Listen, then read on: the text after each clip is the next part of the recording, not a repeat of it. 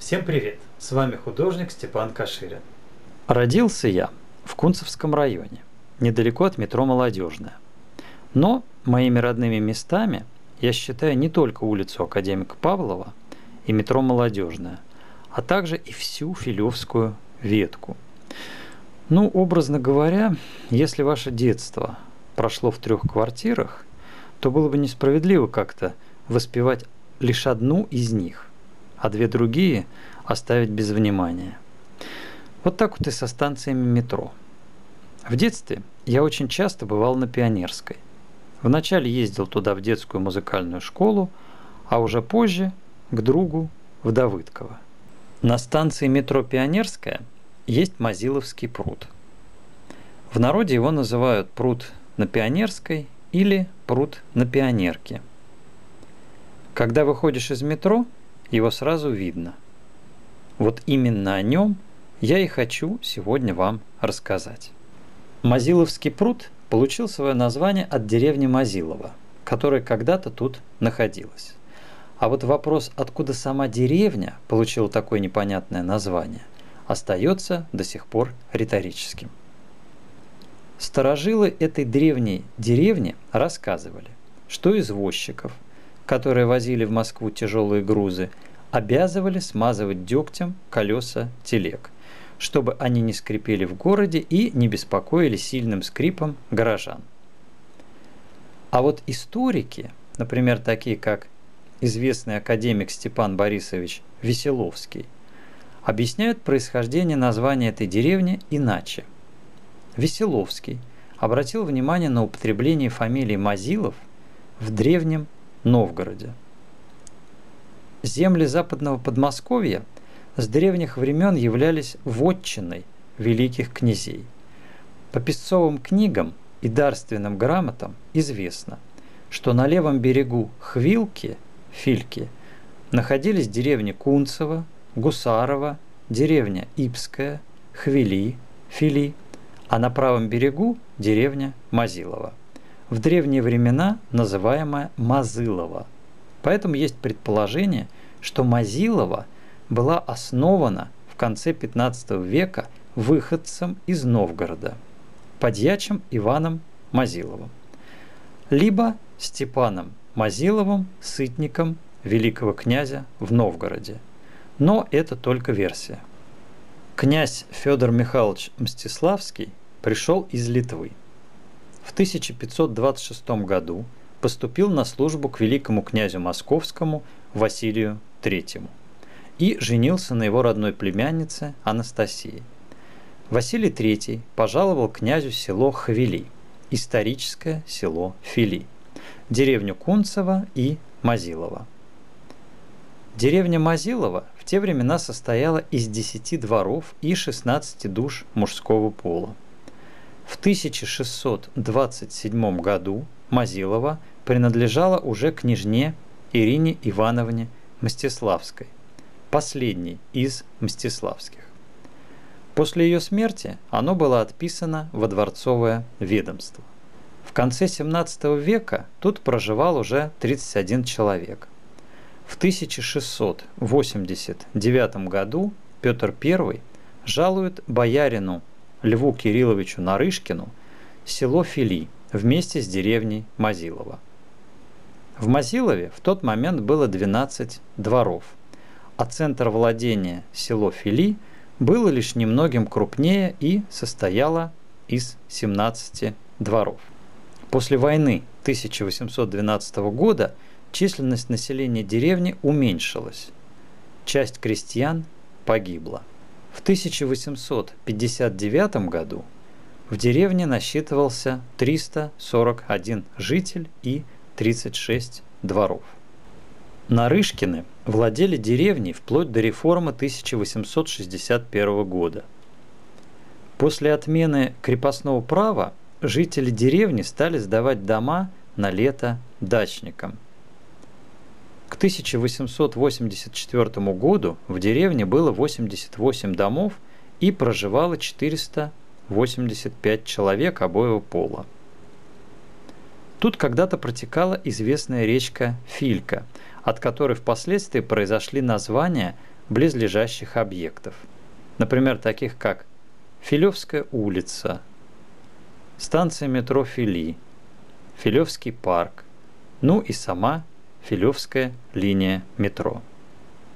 Учитывая информацию в словаре Даля, можно высказать предположение, что название Филька, Хвилка, Хилька происходит от слова хвиль, хвилюга и переводится как непогода, хиль, хилая погода, мокрый снег, вьюга, метель. И вот у деревни Мазилова на реке Фильке была построена плотина, в результате чего и образовался известный вам Мазиловский пруд, то есть он искусственного происхождения.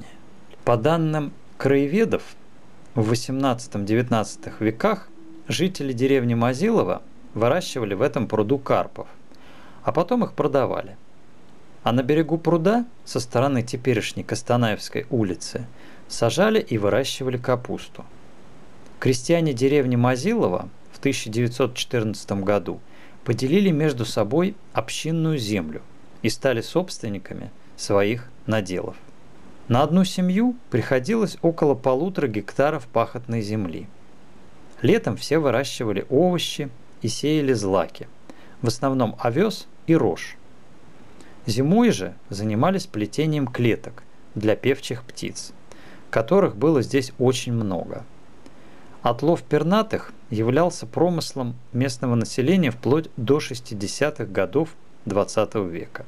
Известный поэт Эдуард Багрицкий, живший некоторое время в Кунцеве, написал в поэме «Птицелов» «Трудно дело птицелова, заучи повадки птичьи.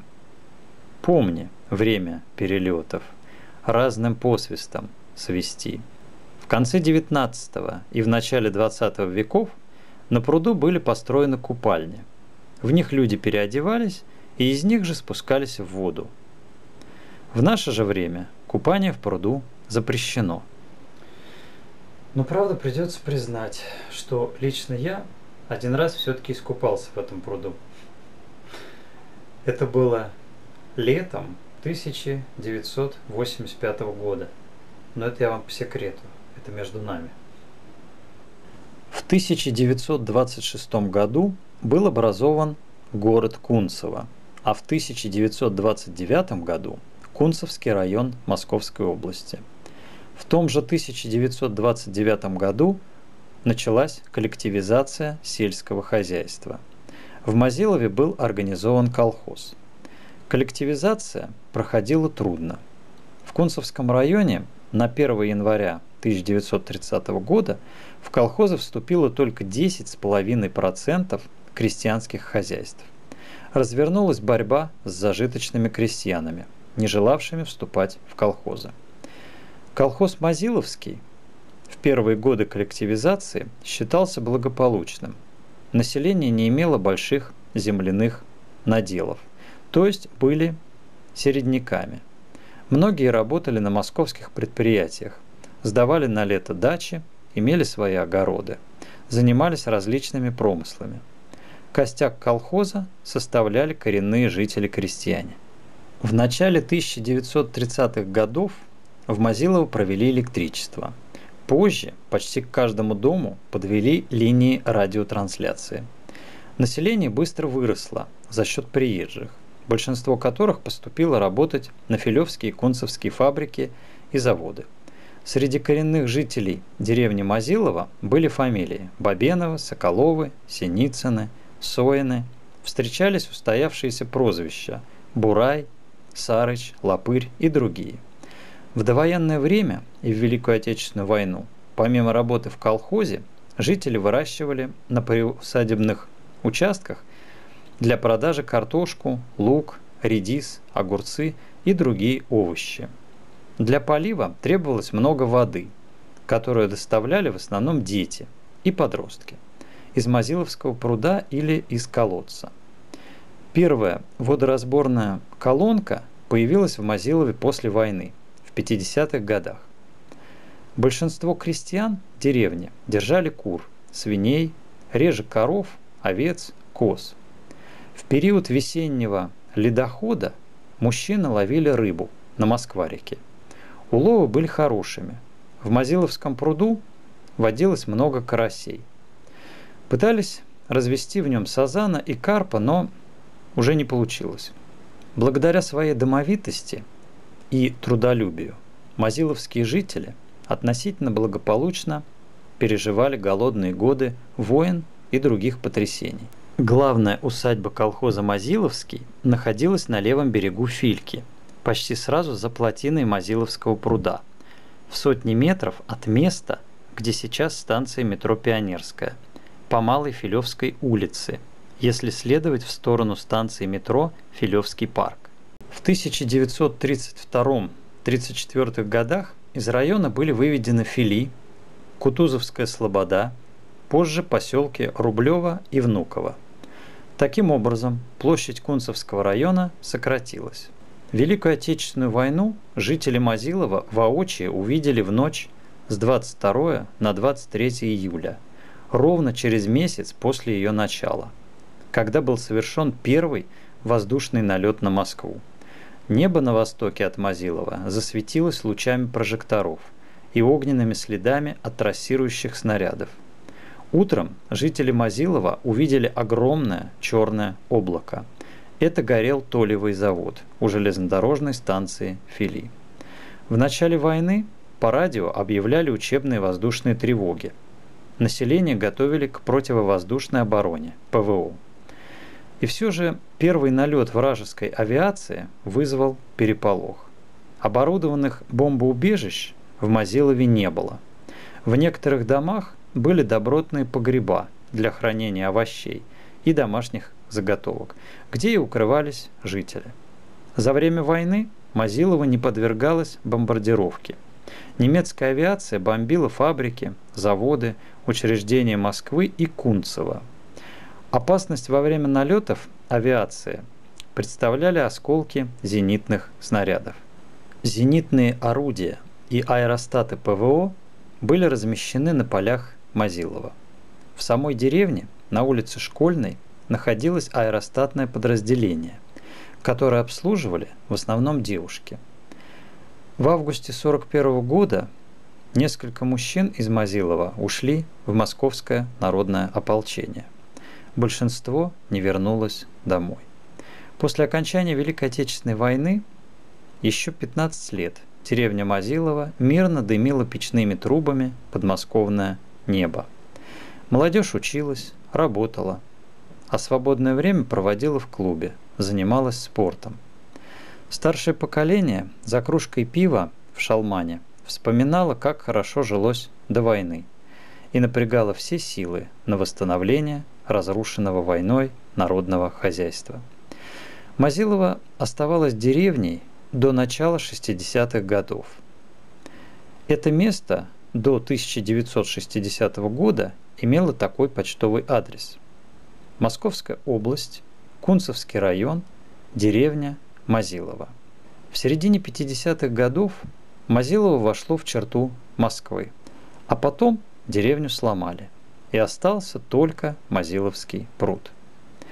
Большинство жителей Мазилова разъехались, расселились по разным районам Москвы, оставив землю предков. В начале 60-х годов XX -го века старинную плотину разрушили. Инженеры-проектировщики обследовали плотину и очень восхитились добротностью сооружения. Судя по кованной решетке, огораживающей приемный коллектор диаметром 3-4 метра, старую плотину возводили мастера церковного строительства. Там было все сделано настолько прочно, что конструкция прослужила не одну сотню лет. Когда прокладывали Филевскую линию метро, для слива воды из пруда сделали новый водовод. С тех пор глубина пруда изменилась. Уровень воды опустился на полтора метра и теперь составляет в среднем 3,5 метра. А самое глубокое место в пруду – яма глубиной 4 метра. В 1961 году была открыта станция метро «Пионерская». Фильку взяли в трубу.